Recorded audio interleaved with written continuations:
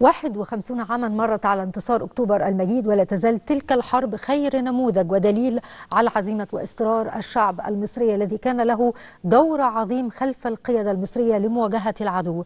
من أبرز الدروس المستفادة من انتصارات حرب أكتوبر هي الروح التي عاشها المصريون في تلك الفترة.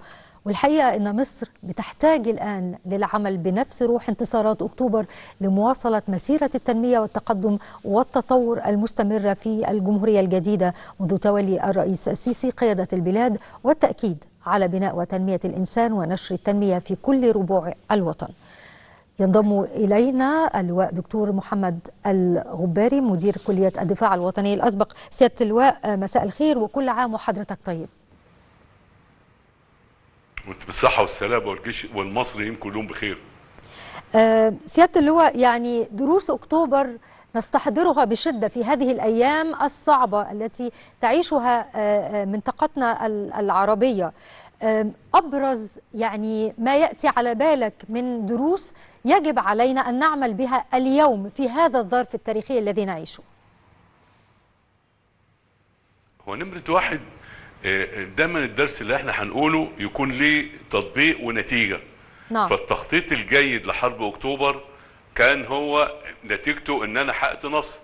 اذا النهارده الدرس المستفاد إن أنا بقوله للشباب عندنا كلهم دلوقتي والأجيال الحالية إن كل عمل يشمل على تخطيط جيد على معلومات مظبوطة وعلى خطط وتدريب جيد مؤكد هيحقق له النجاح حتى لو كان في حياته الشخصية.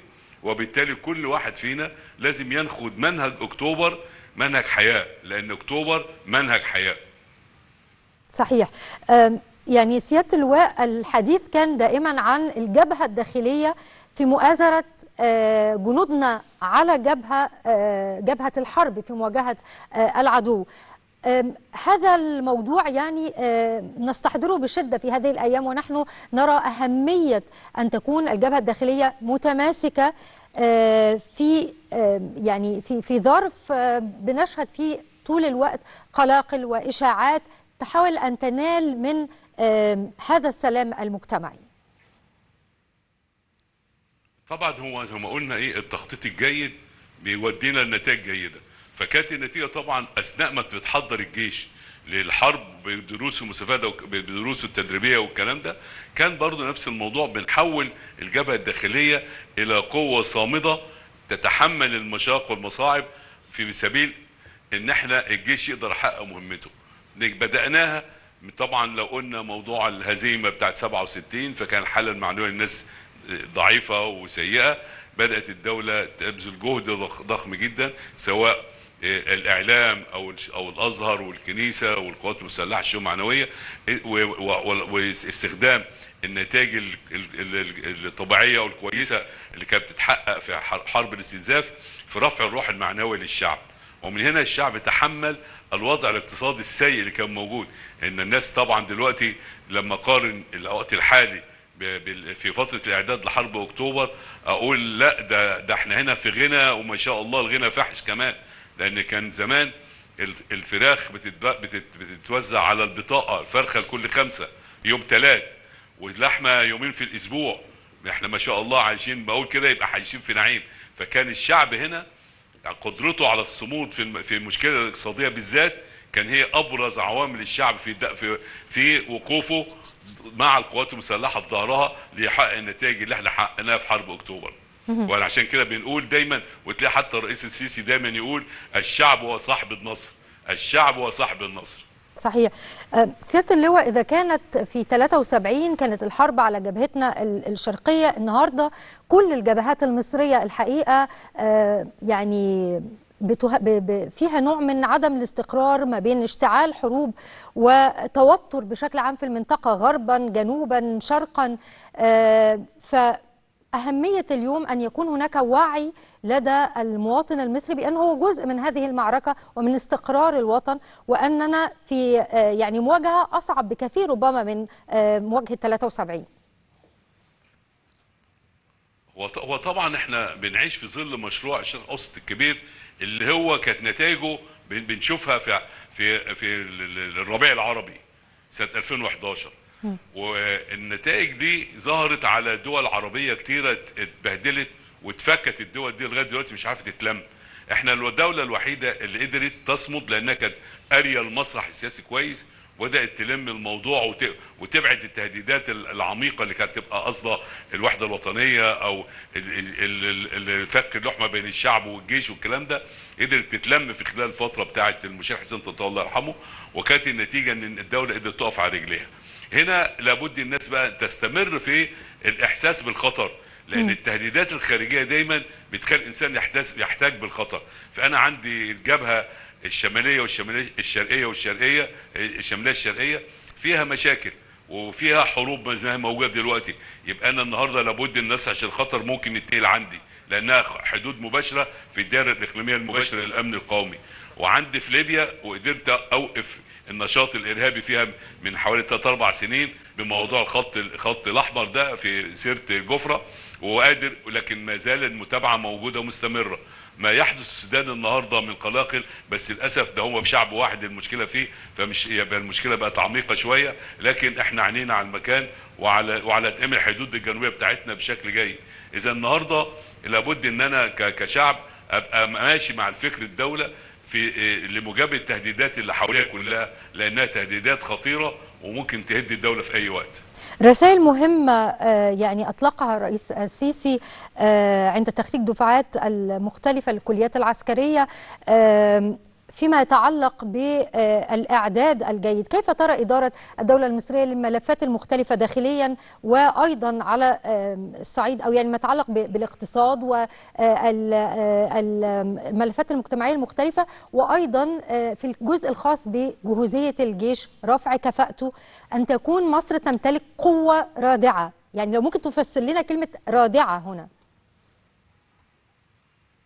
شوفي في هنا الرئيس السيسي خد منهج من أول ما تعين إن أنا أنا في السياسة الخارجية أنا مبدئيا اثنين عندي همشي عليهم. مبدأ ال ال ال المصالح المشتركة مع أي دولة لنا مصالح مشتركة أهلا وسهلا.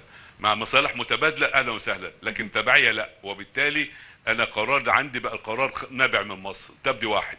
اثنين القرار عشان ينبع من مصر لابد إن مصر تكون لها قدرة على اتخاذ القرار. وبالتالي يبقى لازم في قوة. من هنا بدأ الرئيس السيسي لما حط قبل ما يحط 20 30 قبل ما يحط 20 30 جه بص على القوات المسلحة إنها لازم تنمو بحيث إنها تبقى قوة ردع أكتر مما هي قوة متقدمة كفاية. فبدأ هنا يجيب أسلحة الردع. أسلحة الردع يعني يكون عنده قوات جوية بعيدة المدى. وبالتالي يبقى أنا اللي كان بيفكر يهاجمني يبقى مش هيجي. لأن وجود القوات المسلحة قوية ده اسمه تهديد باستخدام الردع باستخدام بالتهديد باستخدام القوة. ومن هنا لابد إن إحنا نبقى عارفين إن تطور القوات المسلحة سواء في القوات الجوية أو القوات البحرية الاسطول الشمالي والاسطول الجنوبي والقواعد العسكرية اللي أنشئت على أطراف جمهورية مصر العربية بحيث إنها تبقى الحدود آمنة بقوات بقوات دائمة. من هنا بدأ يظهر إن مصر لها قوة عسكرية لها ترتيب على العالم وبالتالي يبقى لها قوة ردع وبالتالي ترضع التهديدات المباشرة مباشرة على طول يعني. صحيح. من ذاق مرارة وألم الحرب يقدر كثيرا معنى السلام. مصر تقوم بجهود كبيرة جولات ماراثونية لإرساء الحق العربي الفلسطيني المشروع في إقامة حل الدولتين والوصول إلى سلام والمطالبة طوال الوقت بوقف إطلاق النار بدءا من غزة وصولا الآن إلى لبنان وربما يعني القوس مفتوح يعني كيف تتابع هذه الجهود الطويلة لدولة ذاقت مرارة الخسارة والحرب ثم يعني حلاوة الانتصار والحصول على كامل الأرض والاستقرار والسيادة التامة على ترابها؟ طبعا أي دولة بتاخذ شعار التنمية المستدامة وبتعمل من أجله فبتبتعد عن الحرب. مصر هنا دخلت وحطت استراتيجية للتنمية 2030 وبالتالي دي دي الخطة دي لأول دي تاني مرة في تاريخ مصر تتعمل خطة للتنمية. اتعملت في الستينات ووقفت نتيجة الحرب وما كملتش. النهارده الرئيس السيسي محافظ تماما على إن مصر تحافظ على استكمال هذه الاستراتيجية لغاية 2030 بدون دخول حرب لأن الحرب بتستهلك ما بتنميش الحرب صحيح. بتستهلك. طب أنا كنت مدير المدرعات كنت بطلع الدبابة ب 7 مليون جنيه دولار سنة 2004 النهارده بتطلع ب 25 مليون دولار. فإذا الحرب مكلفة جدا وبالتالي لابد ان نبتعد عن الحرب. وده منهج مصر. ومن هنا مصر بقى بتحافظ لأنها لها دور قوي وهي ضريعة في في منطقة الشرق الأوسط وعلى الحدود كمان مع سواء إسرائيل أو غزة. وبالتالي صوتها لازم يكون مسموع. ومن هنا بتحافظ على الحقوق الفلسطينية بمنتهى الدقة. والدليل على ذلك إنه لما الرئيس السيسي أعلن قفل معبر رفح ما كانش بيقفله في وش الفلسطينيين. لأ ده هو كان بيصر على إن معبر بر رفح مش هيتفتح إلا لو سلمه للسلطة الفلسطينية. مش لحماس ولا لإسرائيل. يبقى هنا أنا بحط الحل المستقبلي اللي هيدير غزة مين بعد بعد إيقاف نعم. اطلاق النار؟ نعم. أنا من وجهة نظر مصر السلطة الفلسطينية. يبقى ده محافظة على الحقوق الفلسطينية. صحيح. أشكرك. شكرا جزيلا سيادة اللواء دكتور محمد الغباري مدير كلية الدفاع الوطني الأسبق على هذه المداخلة.